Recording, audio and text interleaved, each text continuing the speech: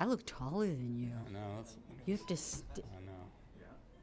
and sit on your coat. It brings you. Yeah.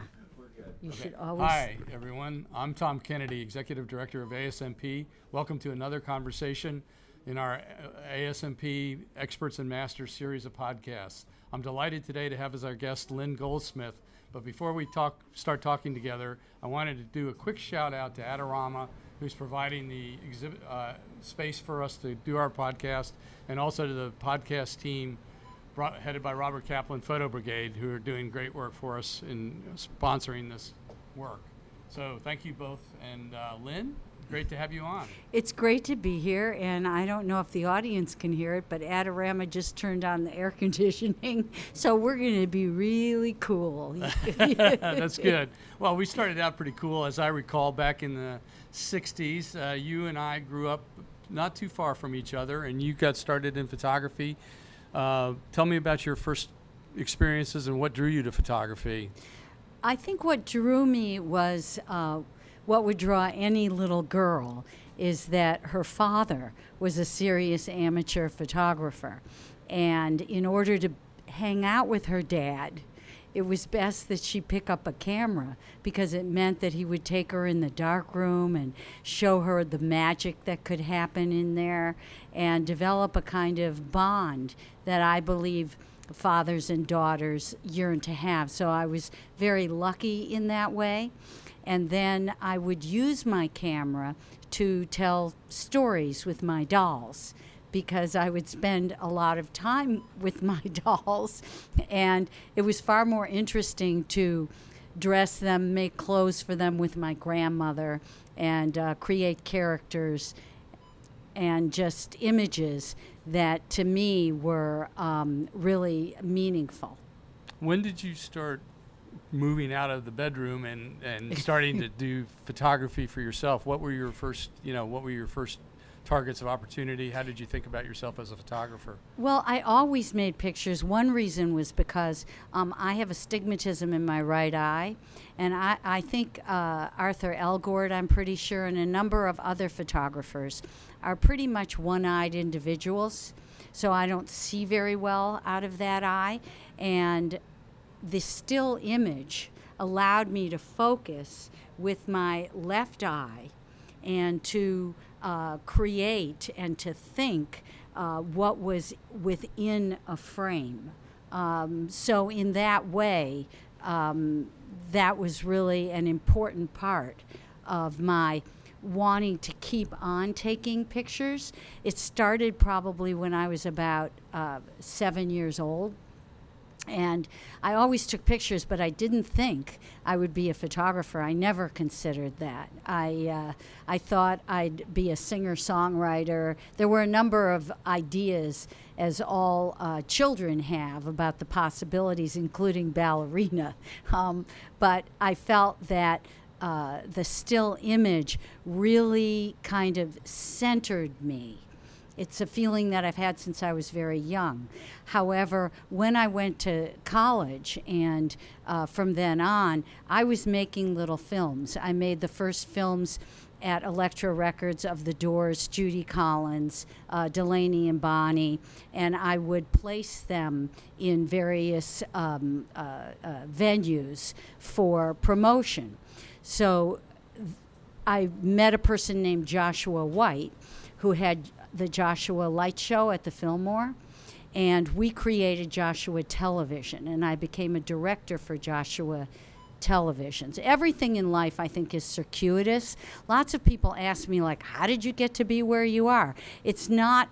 It's not an easy question to answer if you're interested in terms of rock and roll, I have a book called Rock and Roll Stories. You can read it there. But my journey, because from Elektra Records, where I made these films, I then became a director for Joshua TV. And from there, I moved to ABC TV.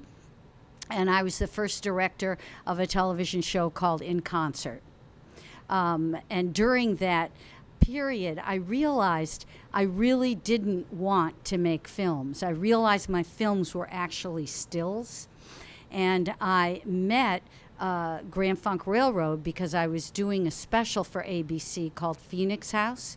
And I did the documentary section where we went around to these halfway houses which help uh, drug addicts, particularly young drug addicts. So I came up with an idea for Grand Funk for their next record and for who would produce them. And I said that I would work for nothing if uh, if when they got a hit single, I would be 50% of management. I think you always have to be ready uh, to understand that risk equals reward. And if you fail in that process, it's not a failure because the lessons learned take you to the next place. And so all my previous history had um, had just supported that. So when I uh, started with Grand Funk, I had a plan to make a film on them. We're an American band, and put them together with Todd Rundgren, because I had been a singer songwriter. As I said, this is all in my book. It can go on and on and on. Right. Uh, and and anyway, it's all explained in there.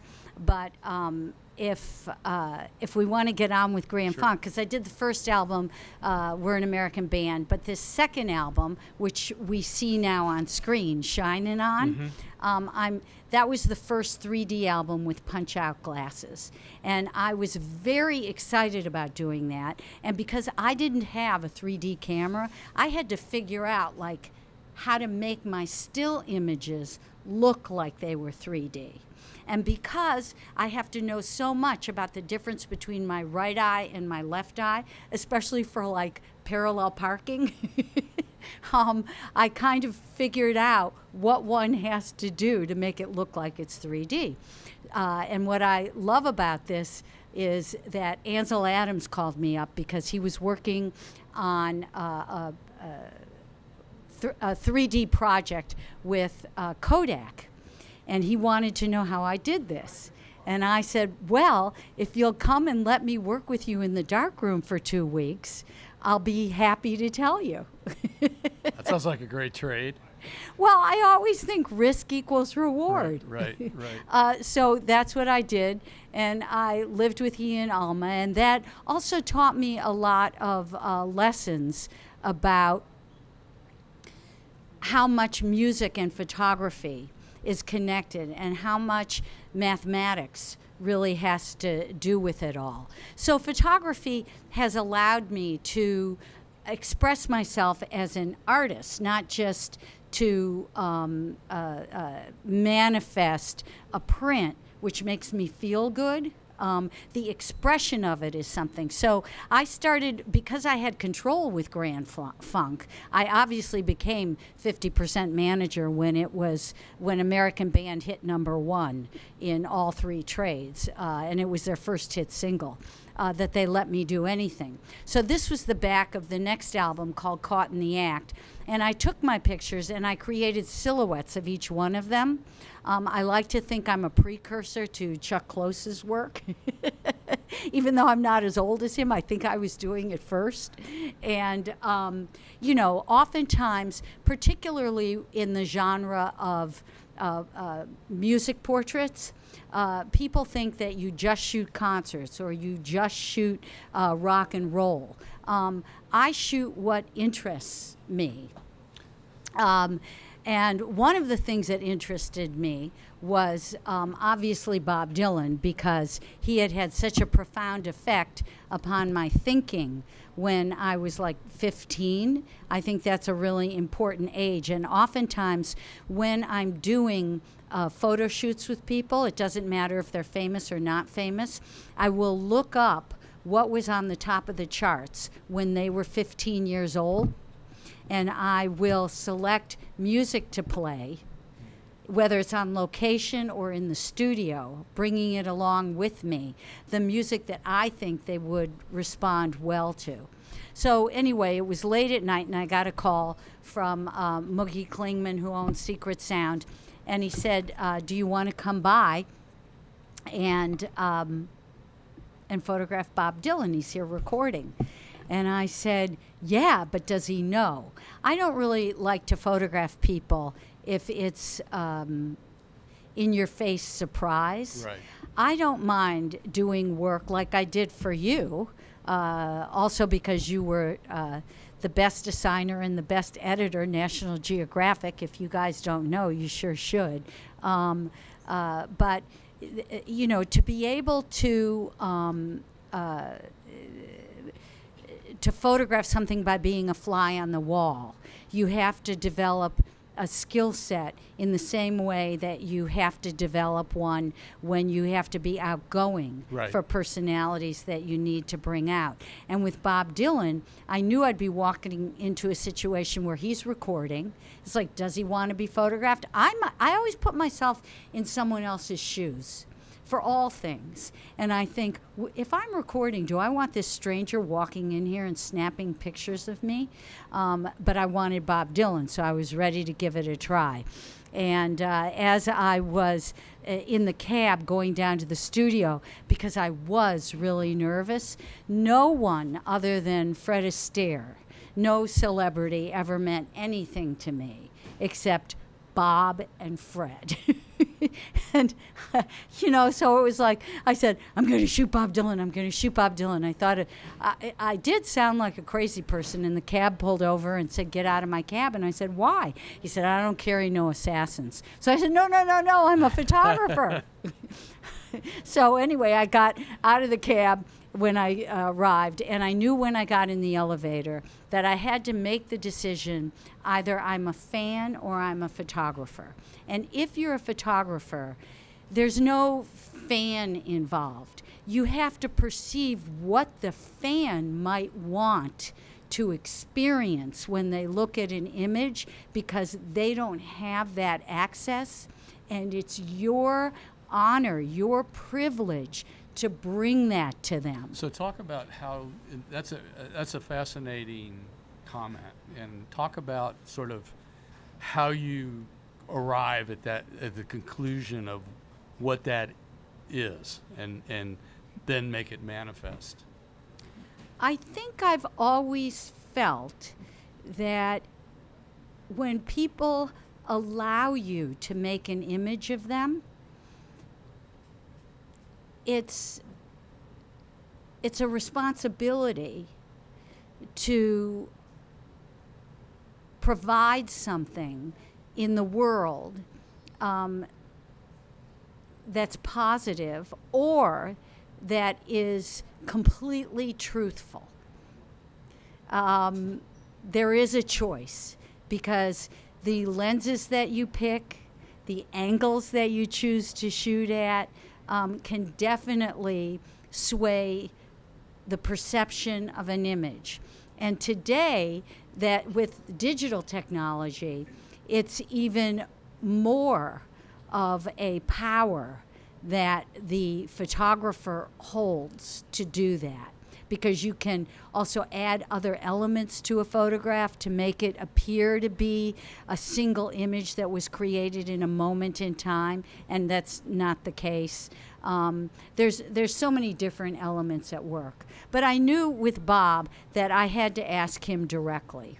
I, I made that decision in the elevator. I'm a photographer, not a fan, and when I walked out, um, he was in the studio and I just walked right up to him. I didn't wait for anything. I wasn't afraid. And I stuck my hand in his and I said, "Hi, I'm Lynn Goldsmith and I'm I'd like to make some pictures of you." And he said, oh, "I'm really sorry, but uh, I have a photographer here."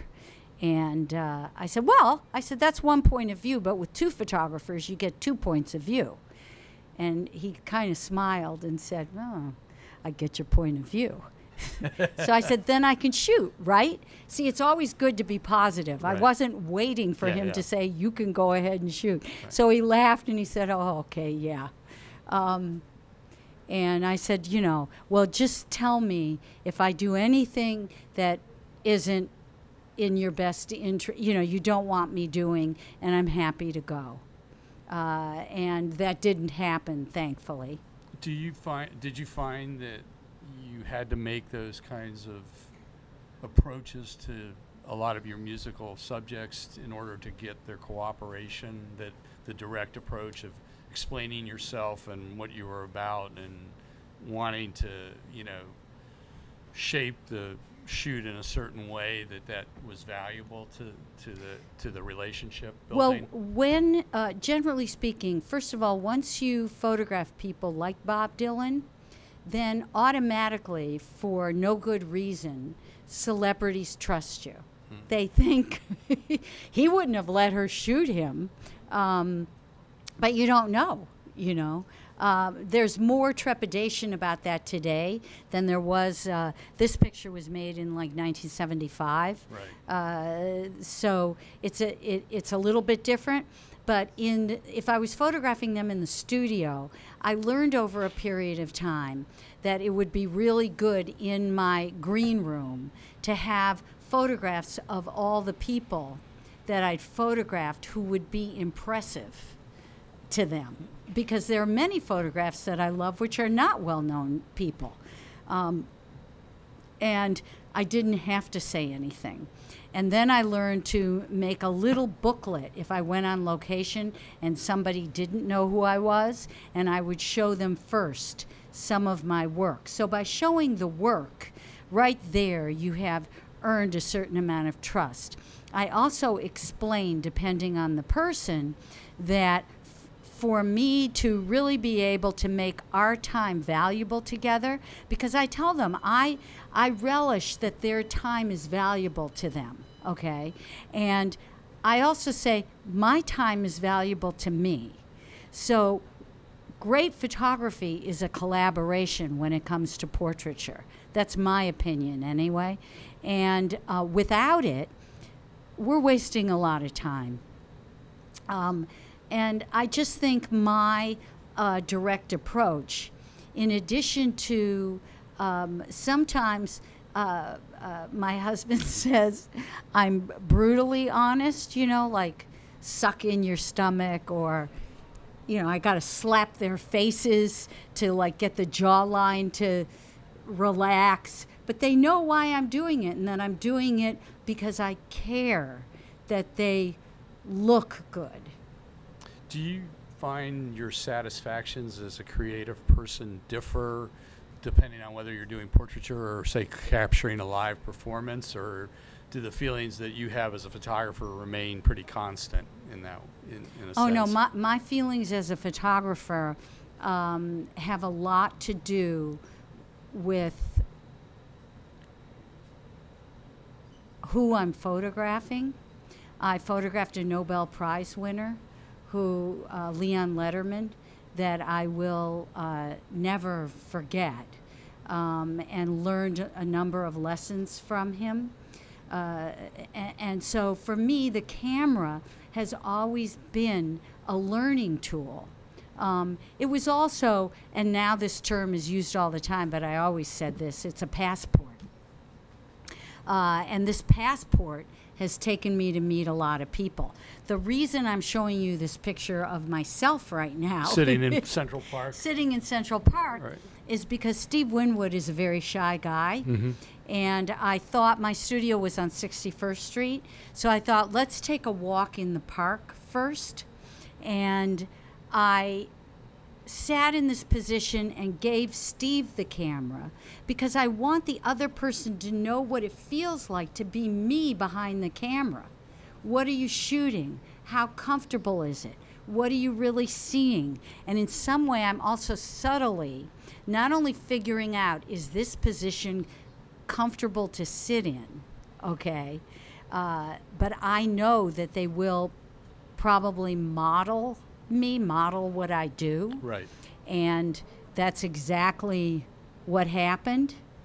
And once they're comfortable and once they understand that there's a lack of comfort as well in being behind the camera, you know, like I would say, Steve, give me some direction, you know, and he was uncomfortable, kind of like talking and shooting. and and I said, he said, like what, you know, and I said, like, tell me to look up you know. So, you know, doing those role model changes or just modeling interactions has um, a big effect on the rest of the shoot. Um, with someone like Ozzy Osbourne who was coming in the studio, you you I had a very short period of time to shoot him. It was like an hour.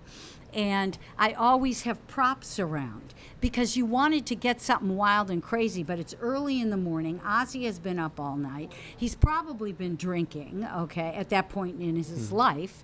And he he's not really going to be screaming and doing the things that like Ozzy Osbourne of Black Sabbath should do. So my mother had come back from Bali and given me these nails, and I gave him like a character to be.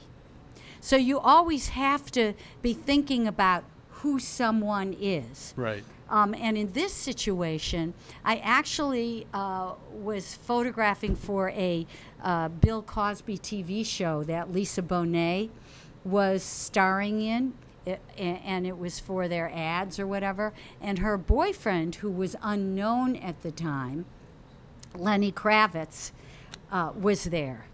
And Lenny had never made a record, nothing. Um, he was just going with Lisa. And I, Lisa uh, was uh, kind of consumed with things that were going on with the Cosby Show. But I, so I started off by saying, "Let me make a portrait of you and Lenny." so that's another way of looking for what prop Lenny served, not unlike my mother's nails from right. Bali. Right. Right. Um, in this situation, I was uh, supposed to photograph uh, him for uh, this is uh, Don of the Eagles. Don Henley. Don Henley. Sorry about that. That's I'm all right. getting old. That's okay. I was supposed to photograph Don Henley of the Eagles at Walden uh, Pond. Walden. Right, no, Walden Woods. Okay. and Walden Pond. I get it. You know, I was confused then. I'm still confused. But what happened was I took him to the pond. Okay, and he looked pretty unhappy. So I said, "Is there a problem here?" And he said, "Well." my fundraiser is really about the woods. And I went, oh my, not the pond. So I said, oh my God. So I went looking, and thank God I found this sign. You know, so props Yeah. oftentimes uh, can save the day. I wanted to talk to you a little bit just before we move on about something that I was really struck by in the introduction to your rock and roll book. And that was you talked about music being sort of the life story of everyone, and that the lyrics and the emotions that flow from music really have this sort of cathartic effect in releasing people's energy and and and allowing them to realize the bonds of community in a way that perhaps if the music wasn't there they would not realize. Talk a little bit about that as a motivation for you in terms of working with artists and working with musicians in the way this that you have. Well, I think it's always been uh, clear to me because music was so helpful to me in my own uh, youth.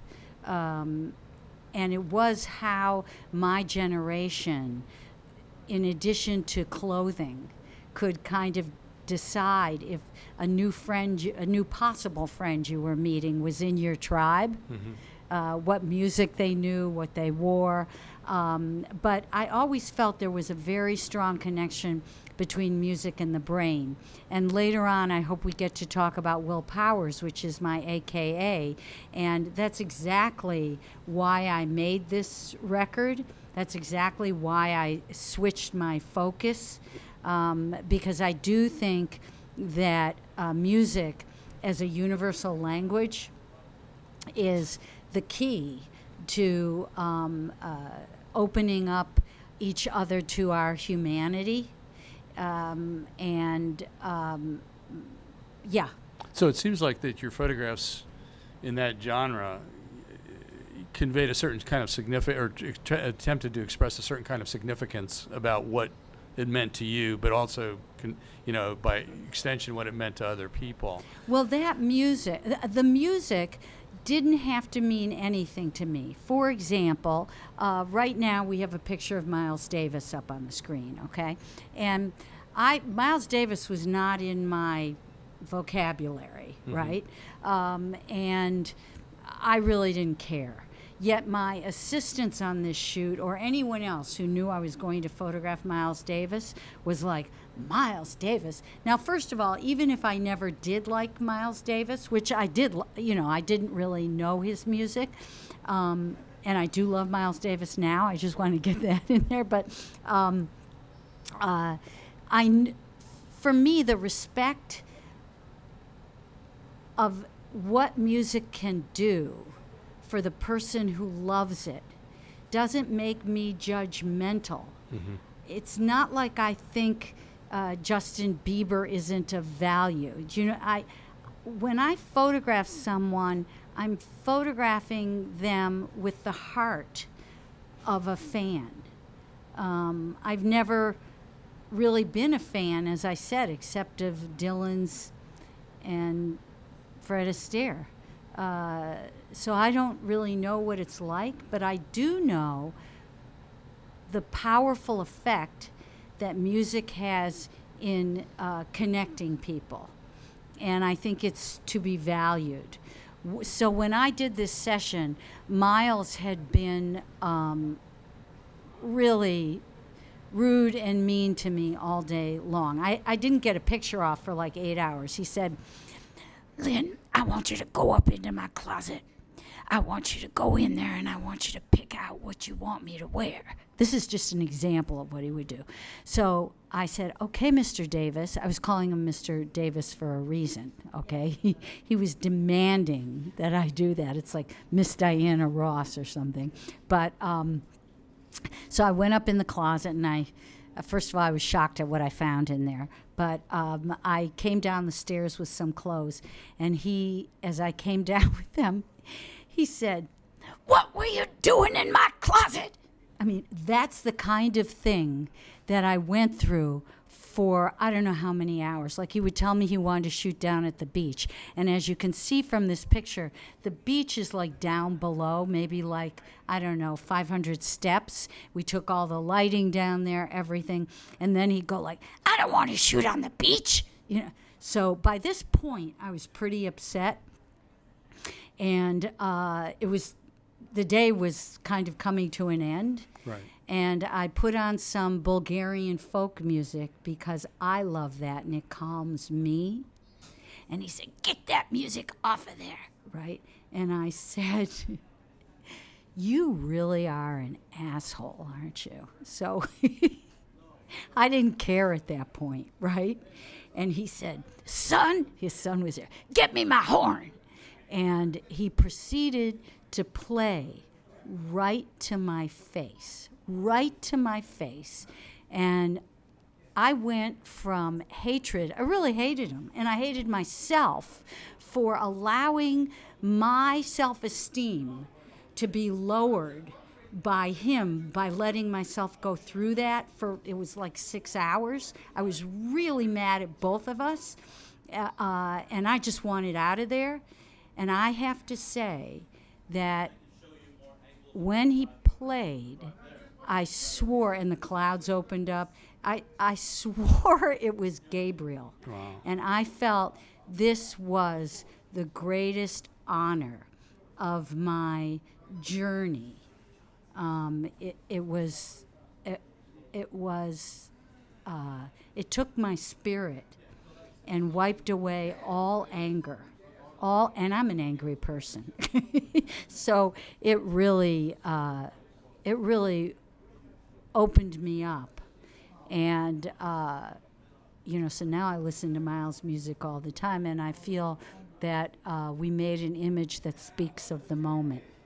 What, what, what do you feel working with musicians has taught you about life? Oh, well, working has taught me. I do believe that work is a teacher. Um, so it doesn't really matter what you do. Um, what the camera has done uh, for me is it's kind of um, shortened the time of how quick you learn a lesson. you know, it's pressurized. Um, the more you uh, put challenges on yourself, uh, the greater the likelihood is that you're going to learn a lesson. I don't think I would be interested in doing anything that I wasn't learning from. So it's taught me, uh, first and foremost, uh, that the uh, messenger is not the message. Uh, just because, and Miles is a great example of that. He was a jerk to me. I don't care how high someone is, and I don't mean literally high. Right. um, but, you know, it, it really taught me that what you can get from a song doesn't mean the person who wrote that song even gets that lesson. It doesn't mean that the person has been there. Everybody's like, in my opinion, on their journey. So uh, it's what your intention is. And my intention, whether I'm listening to a song uh, or making an image, reading a book, walking down the street, is what can I learn? That's a great.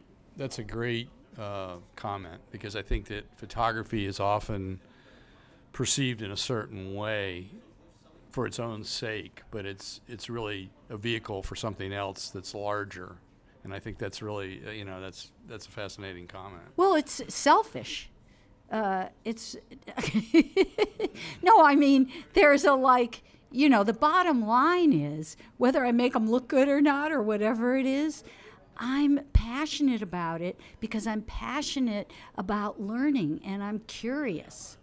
That's a great quality. I think it's an essential quality to be a successful photographer. Is really having a having not only the skill with observation, but also sort of the curiosity to see where it can take you. That was what drew me in. You know, I was telling you earlier uh, before we started talking about my own experiences getting started in photography, and I just saw it as this amazing vehicle to go places and see people and see things that I would never have the chance to be exposed to if I didn't you know have the camera in my hand. So I, th- I think it's really interesting that you say that. What what I know you're known primarily for, or uh, in a lot of circles, as a, a photographer who's covered music and the music music scene and musicians. But I know that your portrait and other work extends far beyond that. And I remember some of our collaborations when I was at National Geographic, and I wanted to tell you a story that you did a article, I think it was for Traveler on the Circus, and then that turned into a book. And you were kind enough to give me a copy of the book when it came out.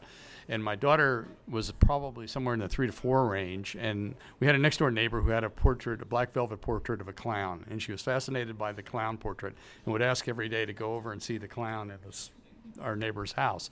So I showed her your book and said, This is Lynn's circus book. So that became the first photo book that my daughter ever encountered. And, uh, and she would insist, because she was just still learning to read, that I would read her sections of, you know, the captions and make up stories about what was in the picture. So I just wanted to share that with you. Well, I'm really honored, and I did make it for kids, and I hoped that it would be interesting for adults, but it was meant for your daughter's age. And part of that is because. Uh, you know, I do believe that the child, which I try to maintain in me all the time, um, is is the highest of us, and we kind of get uh, more fearful, uh, a number of things as we get older. So when you gave me that assignment of the uh, Great Circus Parade, I have to say, at first, I was really upset because everybody was getting assignments like, you know, I wanted to go to Thailand, I wanted to go to somewhere in China, and I oh, I got like Las Vegas, I get like Wisconsin. That's where the Great Circus Parade is, and I have to say, I rolled my eyes and I thought, well, maybe I'm working my way up to like those better uh, better assignments. You know, you thought that was better, but the lesson I learned at the Great Circus Parade is it was the first place that I'd ever been to where this huge event was put on that had so many volunteers that brought their Clydesdale horses from all over America with no payment, people who made costumes, people who all the people who who uh, uh, came together, the retired people who animators and stuff who worked at Disney to fix the wagons to reshape America, and anyone who gave money to support this parade year after year, they weren't allowed to have any banners or show any sponsorship. And so people, that's what drew me, you know, it was such a real American event because it didn't have to do with money. It had to do with celebration of the, in my mind, of the child within us and not losing a respect for the past history, which were those circus wagons and how the Clydesdales pulled them through the town. So I, this is just one small example of the honor that I've had to have a camera that takes me into these lives where I can learn that there are people on the planet, okay, who have a value system which is aligned with the kind of goodness that I think every child comes into this world with. Wow. So well, that really stopped you. No, it Should we go to the next picture? Yeah, Uh, sure, yeah. Well, I don't know how much time we have, Well, if I, wanted, should flow wanted, through things. I wanted to talk to you a little bit about the authors that you've also covered. You know. oh well, let me let me. Uh, You know. okay. Because it's it's interesting to me that while you're known for your you know for your Di- I didn't put. Did I put authors in here? well yeah. I mean I'm sorry.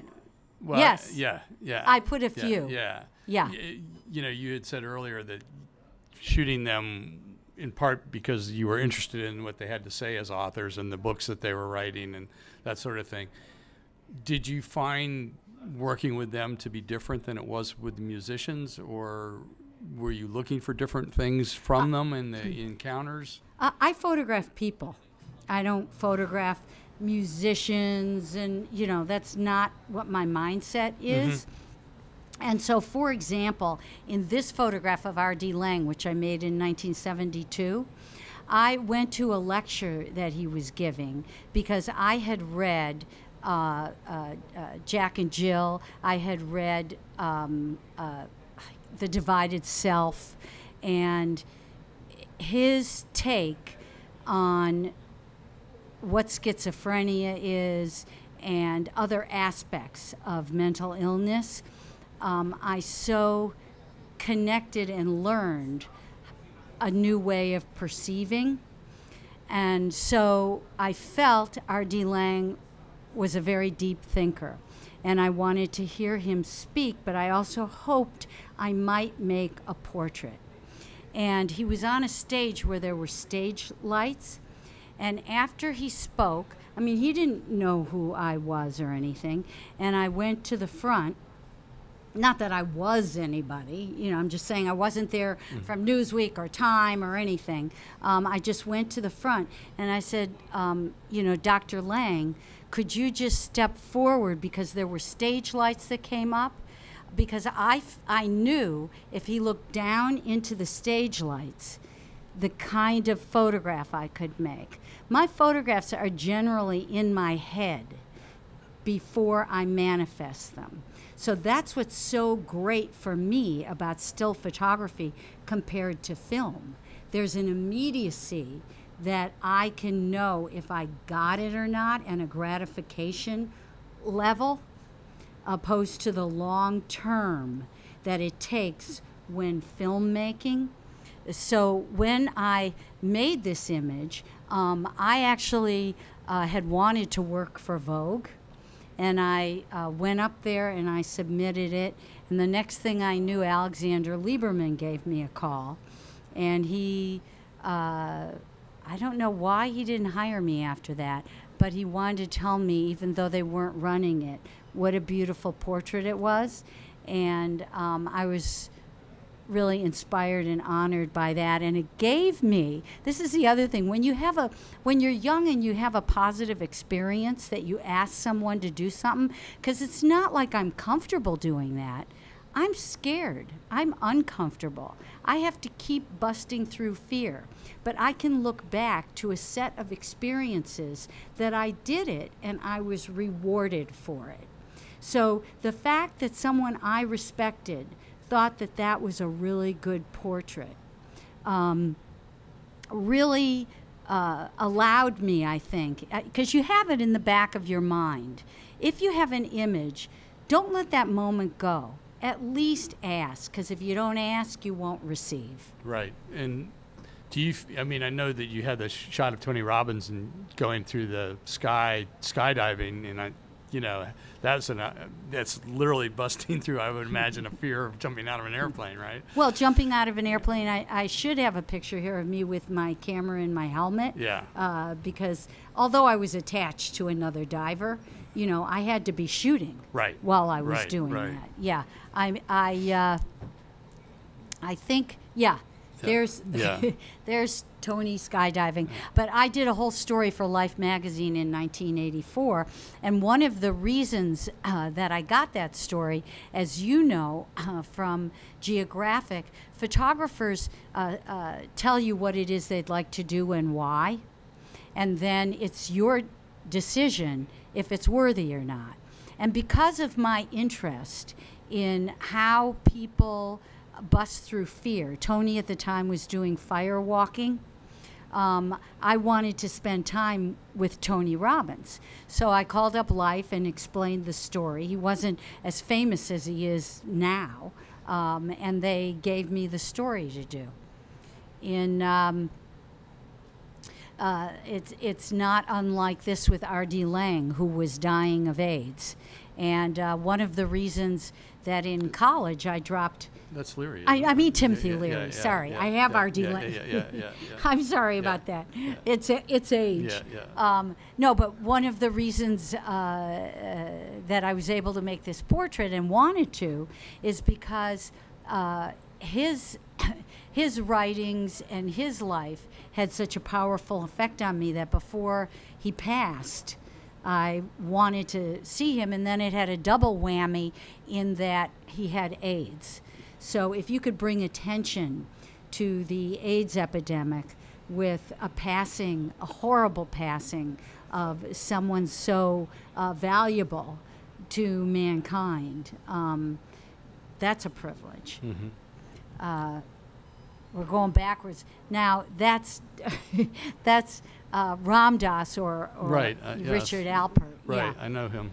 Yeah, and uh, after I met him, it was actually because, and of course I'd read his book, but it was bef- it was also because um, I knew that Elizabeth Kubler Ross, who had written a book called On Death and Dying, uh, was going to be there for this fire ceremony. So once again, the, you know, it's it's me wanting to learn. These these photographs just underscore that. And i can share that with other people. So, talk a little bit about the Willpower Project in that vein, also, because I think that that, to me, was pretty fascinating. okay. Well will powers it was uh, 1982 and um, i had in the past I had done singing and songwriting. I mean, from the time I was 12, uh, I was singing in coffee houses. I had a band in college called the Walking Wounded. But I made the decision, which is in the book, you'll have to read it. I won't go into it now. Uh, we're probably short of time. but um, uh, I was in the Bahamas and I was photographing Robert Palmer, and he had this uh, loop playing in his house while I was photographing. Uh, and uh, he couldn't come up with a melody for it. So I've always had this idea about putting a voice, a speaking voice. This was I hadn't ever. There was no rap then. Uh, about putting a speaking voice that delivered a message of mental health um, to danceable music because I also think movement and dance are part of mental health. It's all, you know, the evolution that we experience as individuals is uh, spiritual, mental, and physical. So uh, I do believe that um, that physical thing of movement and dance can open you up to uh, uh, to hearing things, to seeing things that you might not have been open to. And when I made the Will Powers record, it was really good for me because I immediately had a hit song called Kissing with Confidence in England. Um, and I had to do a lot of press for it, and I was put in a room for like three days where they brought in press from all over Europe and who would ask me the same questions over and over again. And I said to myself, you know what? I don't want to be on tour buses. I don't, I, I, you know, I like performing, uh, but I don't want to do all the other things that I know are part of making this my life. Um, I'm, I, I just want my life to be my life, and hopefully people will get it. I also, people don't know if I'm, many people uh, just thought I was. Uh, uh, take I don't know if you can say it, taking the piss out of uh, self help, um, and I'm not. Uh, I am using humor mm-hmm. because I think the ability to laugh at yourself, to laugh at what others may or may not do to you, is key to a healthy life. So, yes, I do try to be funny on the record, and I do think that chanting, but it doesn't matter what your chant is, it's the intention behind it. So that's more of what the Will Powers is all about. That's that's interesting. I mean, it's so fascinating that you, you know, that you're able to bring all this together in a certain way. I think. Well, what's really even more fascinating is that was 1983, but currently for the Olympics, for the X Games, uh, this song "Adventures in Success" is used um, by Squarespace for a commercial, which I only allowed because I have been asked for other things.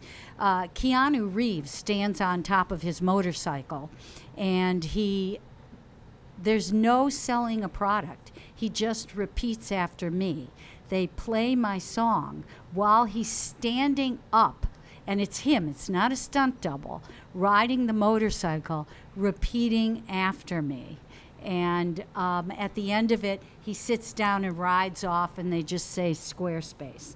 So, um, so I allowed that for Will Powers. In fact, you know, obviously, I'm really happy about it, and um, yeah, and it's helped to fund my GoFundMe. Well, that brings me to the final part of what I wanted to talk to oh. you about, which is you know I know you as a fierce um, advocate and defender of artists photographers' rights. And, you know, we've talked a lot about some of the issues that you've been facing with respect to defending the copyright of your own work.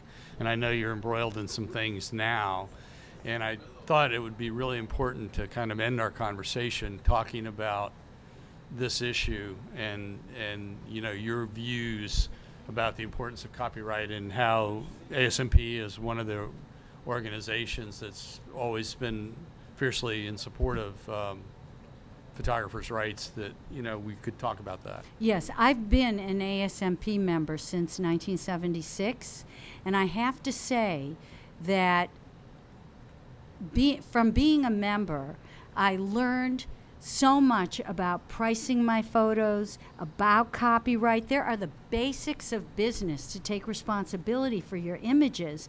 And ASMP was incredibly helpful with the information, which in those days it's not even as easy to get as it is. They were also helpful with my insurance because they had a great policy uh, for us. But anyway, because of that, I was always very careful with my licenses that I gave to magazines for my work. Uh, I was careful about um, uh, where I placed my pictures, how I placed my pictures, uh, how I was credited for my pictures. And ASMP, when it comes to uh, this case, which, if people don't know, um, I have a photograph of Prince that I made in 1981 uh, for Newsweek. Um, you didn't uh, put it yeah, in. Oh, yeah, I yeah, do. Yeah. So you can see here the uh, photograph which I made in my studio. And uh, that was on an assignment for Newsweek. I had suggested it to Newsweek, and they gave it to me. Um, and recently, after Prince died, I kept seeing this image and the eyes. I never forget eyes. Mm-hmm. It looked familiar to me. And I looked at it, and it's my photograph of Prince. Uh, so I contacted them and I said, "Uh, That's my picture. and they were like, Well, what do you want? And I was like, Well, I don't know. You have to tell me how you used it. I, you know, I didn't know about it before. Um, and I also had discovered right about that time that it was on the cover of the commemorative issue of uh, Vanity Fair. So um, uh, before uh, before I knew it, instead of that dialogue going further, um, they sued me. They sued me for my own copywritten image, and they called it a preemptive lawsuit. Now, in this world, uh, when you sue somebody, the person being sued has to answer with a lawyer, and uh, all of that costs money. Uh, so, of course, when they did this, I was going to not only get a lawyer to answer it, but to countersue.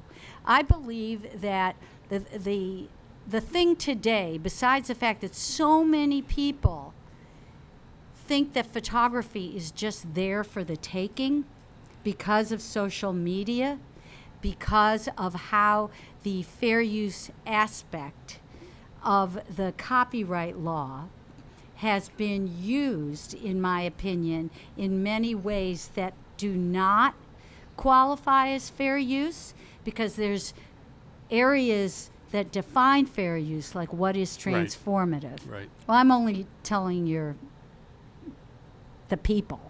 Um, but anyway, I felt that especially the fact that they not only made fine art prints and sold it and blah blah blah, but they had also licensed the image. That affects me and all photographers or visual artists, not just photographers, because you can take a picture, make it high contrast, uh, put it. Yeah, I have a little video on my GoFundMe, Warhol vs. Goldsmith, um, and in 30 seconds, you know, besides the fact that you can make a quote unquote Warhol, uh, you can do other things to it, and then you could license it not just make fine art prints. There are people who just think that they can take it, put it on mouse pad covers, whatever it is. And, you know, I, by 1981, I mean, I'd made a big investment in time and money of being a photographer. I carried a studio, employees. If and magazines don't pay much. The idea was that you live on your royalties, you live on your license fees, you live on your future. In addition to the fact that you may want in the future to do something with your own photographs. In addition to the fact that now, with digital technology, there are tools for you to do things with your images. As I uh, showed you uh, one of, uh, it might be back here somewhere, of uh, Patti Smith. Maybe you can pull it up later since I don't know where it is. Um, hopefully you can stick that in there and I could explain that. Um, that you can make your, you know, and that maybe you want to switch from being a commercial photographer to more of a fine art or, or your career goes in that direction. But the other aspect is you have created, especially in celebrity portraiture, a reputation over a number of years, okay, which is based on trust. Right. And that can be wiped out. Yes, the artist isn't going to come back to you and say, they just say, don't use her again, don't use him again. Right. So there's so many areas that it affects the photographer's livelihood. Now, ASMP, with only 4,000 members, when there are unions that have more membership, and that really frustrates me, okay, with their small membership, have not only made a donation, but on their website, you know, they made a statement which I think clearly defines what's at stake here for us all. And the idea is not that I'm going to make money by suing Warhol. They they accused me in their lawsuit of extortion when I hadn't brought up any money, um, and and a number of other things that are ridiculous. That this was a publicity picture handed out as a press photo. It never was. Um, uh, but that um, uh, wait, there was a reason in my uh, ca- oh yeah. So this lawsuit forget be- it being about that. I want the public particularly visual artists to understand and take responsibility for copyright not just the the joy of making the art but the responsibility like the joy of having children. There's a responsibility to having those children. And i feel very very strongly that if we don't stand up now our rights are gone. So I intend on going all the way to the Supreme Court because if I win, they'll appeal it. If they win, I'll appeal it. And already, um, you know, the uh, GoFundMe has a certain amount in it. I've spent 10 times that amount. And any monies awarded to me, which will be used to pay my legal fees, will also be used to give to organizations, ASMP being number one of those, okay, to help protect copyright uh, and what that means for us. If we don't stand up now, it seems like a small issue in light of many of the issues that are going on today, life and death issues, you know. So part of me feels guilty asking for a penny for that, but I need to fight the fight because in the long run, this is it's not even the long run. With digital technology the way it is and with what's going on it's now. Well, that's what I, I that's what I feel very strongly is the conversation that needs to be had in part not only uh, artists standing up for themselves and protecting themselves appropriately with copyright, but also persuading the public that the work that we do has a value and that the people who do it are doing it uh, for a variety of reasons, but they have to make a living being able to do it, and that their ability to make a livelihood is no less valuable than other ways of making a living in this world. And I think uh, we just really need to change the tenor of the conversation. Well, so I appreciate having I, the I just want to bring up, even in a small way, because it is fair use. I have someone who I think they're on Twitter or whatever, and they post my pictures every day. I, I don't even know who they are. I've asked them to stop. They don't. They keep doing it. They have a certain number of followers, and because they have that many followers, they're getting paid. Okay. I don't even have that many followers. Mm-hmm. So, mm-hmm. so it's like there's so many levels, even if it's the small stuff, where there's online magazines. There's one that I just contacted the other day. They use like 20 of my Patti Smith pictures. They have advertising on there. I mean, this has got to stop because it costs us to have cameras, to have a livelihood. A- And, and it's not, you know, they use that thing that because anyone and everyone is a photographer. right. And the equipment is such today that it is possible to make good images, okay, if you have a good eye and you know a little bit about Photoshop, right, or or any of the Lightroom uh, uh, techniques, um, to uh, to to put work out there. So fine, make your own, you know, but respect other people's work, and it's it's just um, out of hand. And I know so many photographers who have said to me, "Oh, Lynn, I know mine too." Blah blah blah. So I say, share. Th- you know what? If everyone gave five dollars to this, right? It not only would would Warhol Foundation lawyers see the like bankroll that's there for it, right? the world and they would see how many people are behind me in this fight to protect our copyrights. I think that's great. Um, you know, well, obviously, we're going to be continuing this conversation, and we're going to be following the developments in your case. And I look forward to future conversations with you about all of this. It's been great to have a conversation with you. Uh, I love your passion. I love your enthusiasm. Have for a long time, and I really- Ditto, ditto, ditto. I really appreciate having you on today. Thank you, everyone, for tuning in. And please uh, look for us on your favorite po- podcast platforms and leave us a rating and a review. It helps spread the word about what we're doing here with ASMP Experts and Masters. Again, thank you, Lynn. Thank you. Thank you, everybody. Bye. Thanks. That went real quick.